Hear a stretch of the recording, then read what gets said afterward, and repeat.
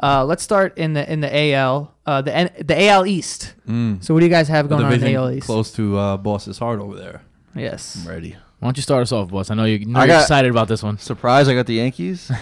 Yeah. Uh, I got the Yankees winning the division. I mean, they obviously upgraded the lineup. They got, uh, you know, this guy Giancarlo Stanton. Never heard of him. Anyone? that? NL MVP, reigning MVP. Yo, uh, he was on Sports Illustrated with no shirt on, Sexy guy.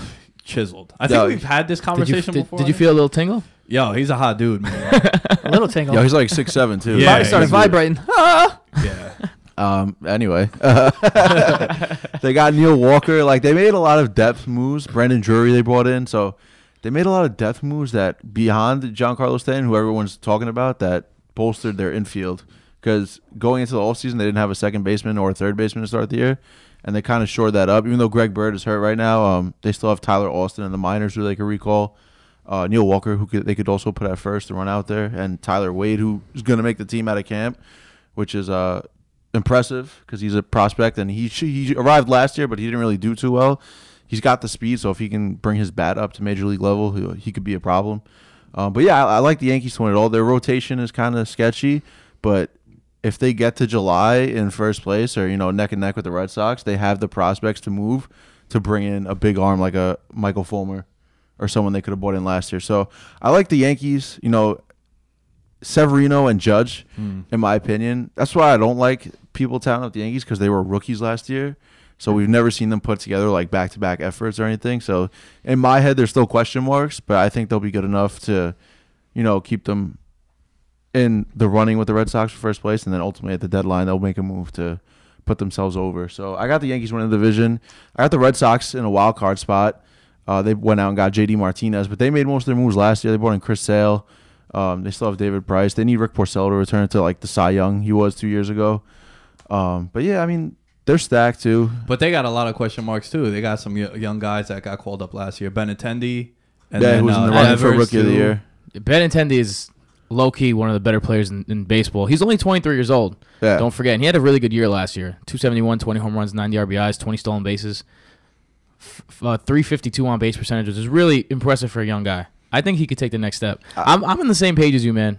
I, I got the Yankees winning this division, and I got the Red Sox in the in the wild card. With the Yankees, uh, uh, someone that no one's talking about too is Gary Sanchez.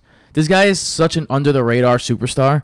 They he had 30 home runs last year, if I'm not mistaken, and and he missed the month, the first Yeah. month of the season. such a because you know he gets outshadowed and outshined by Aaron Judge because he's he's a bigger star and he's just a bigger dude.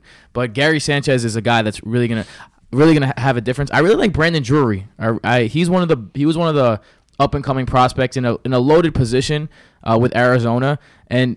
The Yankees have gone to Arizona before and taken someone out of their loaded position, and he worked out. And Didi Gr- Gregorius. So like when you're talking about Brandon Drury, they got that whole left side of the infield that's di- former Diamondbacks now. I really like that left side. And Sonny Gray, that the addition of him last year, uh, that was an excellent deal at the deadline because of exactly this. Because now you start the year with Sonny Gray as your number three starter, and when you start the year as Sonny Gray as your number three starter, you give yourself depth in that rotation, and it takes the pressure off a guy like Jordan Mon- Jordan Montgomery, who might be in, in that starting rotation.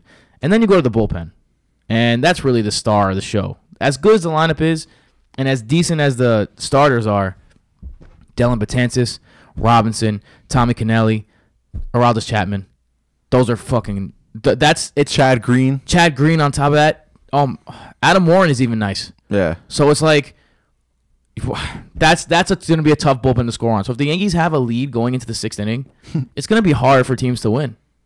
And that it's going to, like you said, I think the Yankees' problem is going to be early, both early in the season and early in games. Can they get that lead? Can they build a lead in the beginning of the season? And can they can they build a lead in the beginning of games? And if they can, they're going to be the best team in the league. Yeah. Also, Sanchez, he kind of carried the Yankees after the All Star break. Yeah. That month of August, he was on fire when Judge was slumping. Because I made that I made that point a couple of times. How if Judge would have had his August in April, you could have probably sent them down because it was so bad. It's just that he was so hot in the beginning of the year going into the All Star break. Yo, that that what it's they're probably gonna be three, four, five. Sanchez, Judge, Yeah, they've been experimenting with it, like Aaron Judge batting leadoff and shit. So Yeah. I don't One know. to six is crazy. I feel like. And yo, think about Stan, right? He he led the league in home runs last year, and he was playing in one of the hardest places to hit home runs. And now he goes to Yankees, where I know you're gonna hate this, but The it seems shoebox. like right field is like 120 feet. The Yo, it just Fox. feels like that. But the other team is playing there too, so Fair, just they- take, just take it. All you Yankee fans, just take it. Nah, but bro, if you hit it to I the mean- gaps, it's like uh, it's Also, you're talking about a division where it's all hitters ballparks. Bandbox. So yeah, yeah. it's not exactly you- you're not. Where yeah, the it's of not the a division big. too is like- like hitter friendly But parks. if you're Camden John Yards Carlo, is just as much of a bandbox as Yeah. Yankee Stadium is. same with same with uh, Fenway. Fenway. I was to say Wrigley, but yeah, same with Fenway. Uh, talking about Andrew Benintendi, I want to I want to go over to the Red Sox a little bit. I think he low key has a chance to be MVP this season. Like I really think that if you, put him in the lineup now and you and you put JD Martinez behind him, and you let him hit second in front of some guys that could really hit. That's a that's a player that has a chance to do a lot of damage, and it's it's really the 352 on base percentage from last year. He's a very patient hitter ahead of his time. He's only 23 years old. He's been getting better every single year. Like this, is, last year was his first year, but even in the minors, he gets better every single year.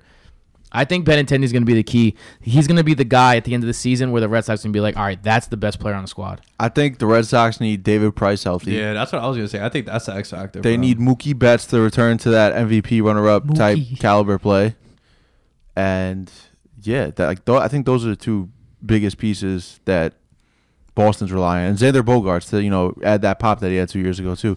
Keep in mind, Boston didn't hit any home runs last year. After- you know, they were towards the bottom of the league. After leading the league in home runs the year before, And Right. the only difference was Big Papi. Right. That's why I think that JD Martinez addition is really huge because it gives him that length, a lineup lengthening guy who can kind of be like a big Papi in terms of like putting him in the cleanup spot and just leaving him there. And you know where you're getting out of JD Martinez. So that's a that was a huge, huge addition. I think the Red Sox I was kind of lukewarm on uh, going into the season before that addition, and now I I think that they could give the Yankees a, a shot in the division, but I think that they're going to be in the first wild card. So who do you got in the AL East? I got the Yankees winning. I got both those teams coming out too. Oh, so everyone has the same and- AL East. Yeah, and, yeah. That- you know what that means, right? Yo, can I get a quick AL East question though? Bedtime. Bedtime. Is Machado an Oriole like August first? I don't know if the Orioles will be bad enough where he's gonna be sold. Maybe. But here's the thing, though. If with him being a free agent, don't you gotta pull him aside and be like, "Yo, can you tell us like what's good?" Because if you're not gonna be here next year, we can't afford to lose you and not get nothing in return. We have to get something for you. I don't think he's re up in there. I don't think they were gonna pay him. You've seen Judge has already uh, on social media been like, "Yo, you look good." in Nah, he told him man. that. He told him that. That's what it was. in yeah. a spring training game, and he got like in trouble for that. They said it was like a violation. Tampering, Yeah, yeah, yeah. which was bullshit. But What? That's what they do anyway. he said, You "Yo, think he- when they're chilling in the off season, they're not It's talking like, shit yo, like, "Yo, come on, man, it's come to good." New York and be fire." Yeah. Me, you, and Judge is That's what Machado said. He's like, dude, he didn't like. He said one thing to me. And it was like cool. Like, and it was in jest. Like, yo, whatever. Like, yo, come bowl with me. Like, That's crazy. okay. You see, They it all probably the say that time. to every single player who's And- nice. And, and yo, you don't think any All Star game or Pro Bowl people are doing that also? Yo, wouldn't it be fire if we played together? Hundred percent. You're gonna find them all for that? Think all those LeBron teams got together. They they need one of those uh, legal tampering periods like the NFL has. What what what a ridiculous period. Legal tampering.